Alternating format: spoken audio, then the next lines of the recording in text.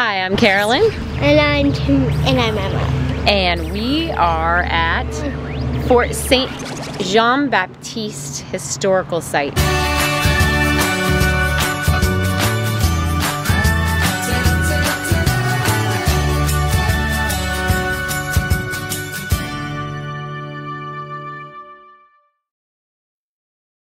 This is going to be a fun adventure. Are you ready? I love forts. All right, Yeah. let's go see it.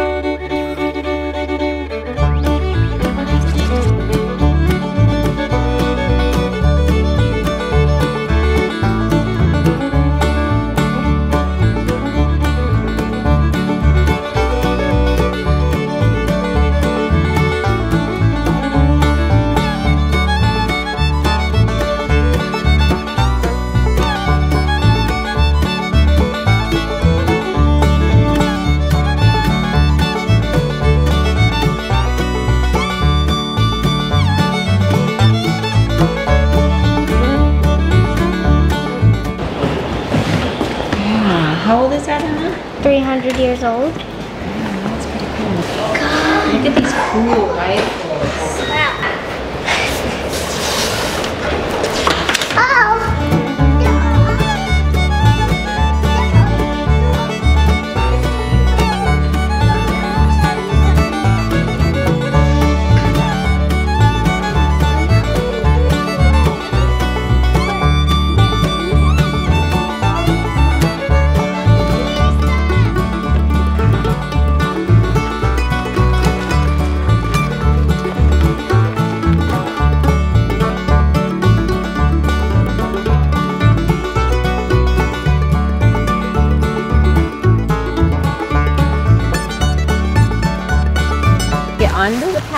Path,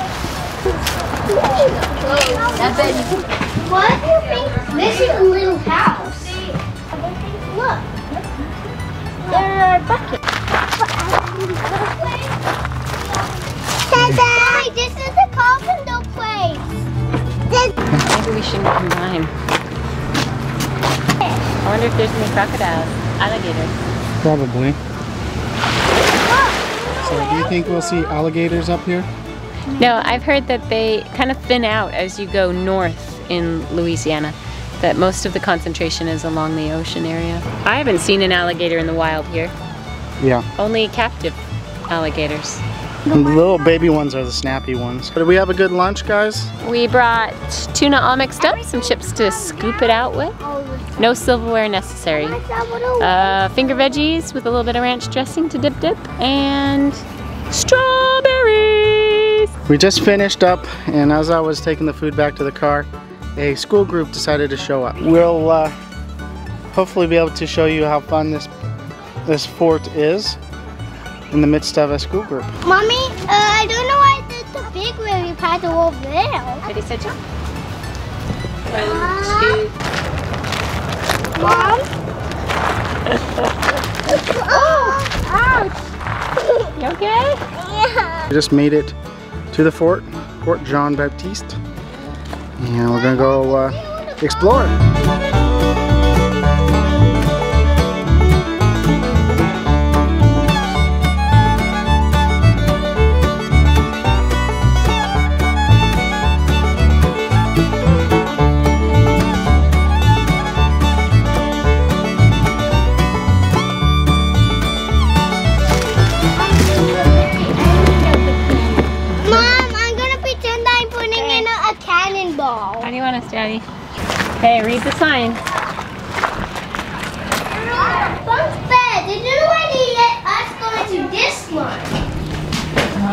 is a, a representation of what it was like in the You mean they slept on what? Here's some spears like they would have used. Spears? Uh-huh. They look like giant bunk beds. Would give them a little bit of light. Here's their table. Mom, look at these wooden shoes. Mommy, Mom, look, wooden shoes. Let me see. I found wooden, look at this big wooden shoe. Take a picture of it. There's their list of how much things cost. They So had a this is a different type of money. Livres? Livres? One has pork, three, 50 li- whole fees. Here's salt, wine, Look at these great big cast iron What's Sucre, sugar, a hide of an animal. Maybe a coyote? Maybe. So this is where they did a lot of trading with the Indians and other people around in the area. Indians came in here? Yeah. This is where they put the money.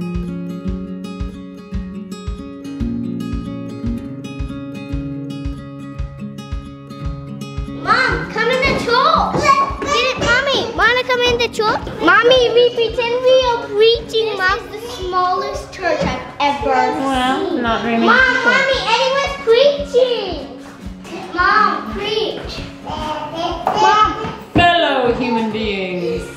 gather here together today to pray to our God. What is that? Mommy, mommy. Commander's house, commandant's house. So you remember the little barracks? The soldiers had to be in the little barracks, but the commandant had a big house. That's a lantern. Lantern with two candles. You put candles into it and then it shines so you can carry it around. This is good solid pewter, right? Eddie, I know you're so musical. Get down, please. In the house. Wood shed. This is a shed where they keep their firewood. Can we? T- See how they would all have to sleep? mommy, this is how we got. So this fort was built around the 1700s. This is a recreation of it, so it's not exactly how it would look back in 1716. It was built by Frenchmen. They built it to protect their trading, so it was a trading post, and then they built the fort up around it. Do you want to know why they had to build a fort around their trading post? I don't know. Because the Spanish were trying to invade it from Mexico. Like a person. Remember how close we are to Mexico way back then? We, we were not that far. This is not that far from what Mexico was. Because Mexico used to own Texas. And Texas isn't very far away, right? So they had to put a garrison of men here to protect their wares and protect Louisiana from from the the Spanish from Spain. You know what? This area almost almost spoke Spanish instead of English.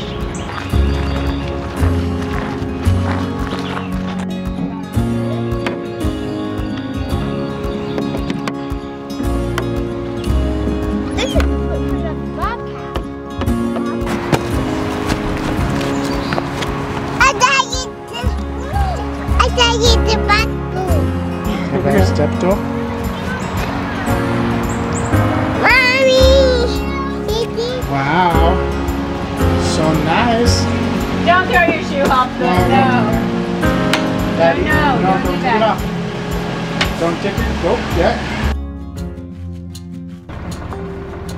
This was the largest complete plantation. But was only a small part of a plantation. Far more important was the work done beyond the main house. Here, back of the big house, is where the workers enslaved, then sharecropper, did the work that produced the wealth. Plantations resembled small towns. Very rarely do you encounter original outbuildings where generations of people worked and lived, including barns, smokehouses, kitchens, storehouses, sheds, cabins.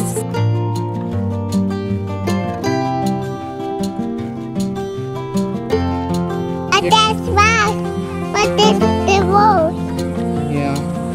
What is this?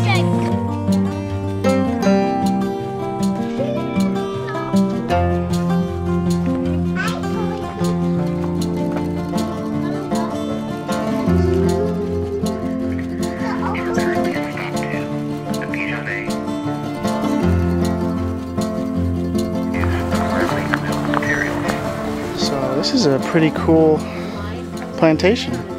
It's a free National Park Service uh, location, and there are these locations you can scan with your phone to uh, get audio explanations of some of the barns and I want to see that. carpenter shop and all kinds of stuff. It's really cool.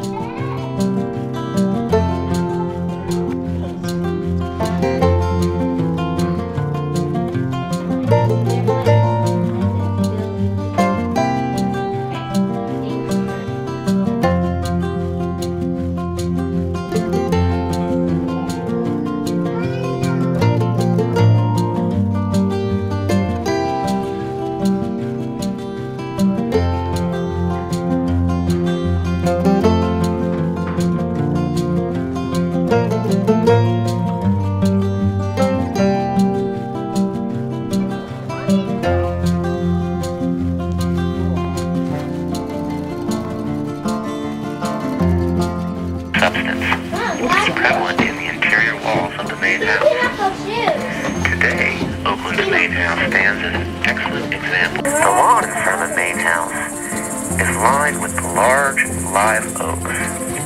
The large oaks A wagon too. I love the wagon too.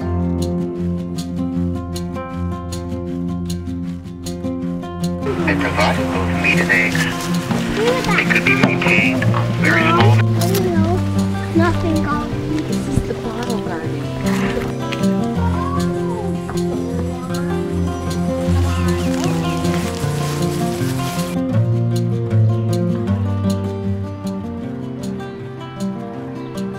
Parked right by the gas pump. You get the gas and then they circle back out on the road. Wait, uh, the red and the, the red and blue stand for, for, for Certain kinds of gas. We saw the corn crib, that's that one over there. And then this is the overseer. Seems funny, but I would love to live in an old house like that. Mommy, you know where the bedroom is? You know where the bedroom is? In here. Nice comfy. Uh, This house is sitting in the direct sunlight, and it's not that hot in here. No. It's because of rubbing mud on their walls. help! Yeah. Help! They didn't put them inside the walls like we're used to. Timmy, go go choose a picture, and I'll help you write it down. Mommy, this is my favorite picture. This one's my favorite. Mommy, has those planes on it. Mom, look it, it's a tea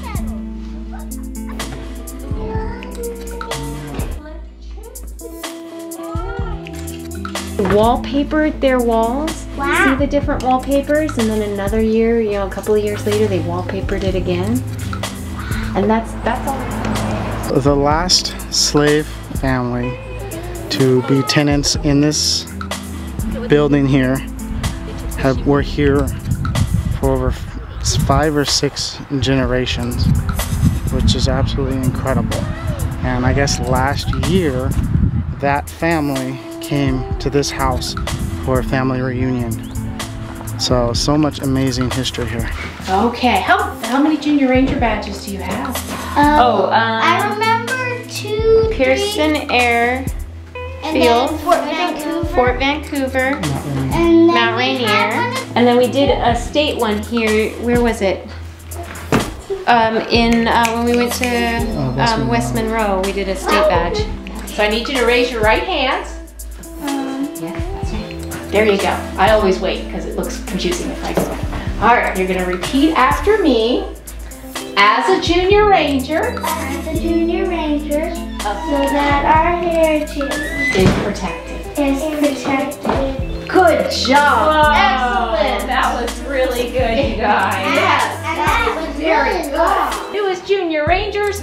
Good job. There is your badge. Watch the pin. Good job. There We you have, go. look at this cool pin. Good. It's been a very fun day. We didn't realize that there was a national park, National historical park here, and so the kids actually got to do a junior ranger badge here in Louisiana. Here, let me see your badge.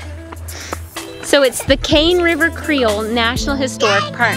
I think the kids enjoyed themselves. They learned a lot about plantations. We had a lot of fun learning about plantations and who lived on plantations and what was grown on plantations and how through history uh, plantations changed and and grew and Cotton was the main plant. cotton was one of the main plants and they also grow lots of other vegetables and crops corn being another one. If you like this video give it a thumbs up like and subscribe. Give us a shout out. You can find us on youtube facebook and instagram. Twitter Twitter as well. And feel free to email us at rvdiaryofafamily at gmail.com bye everyone! Bye.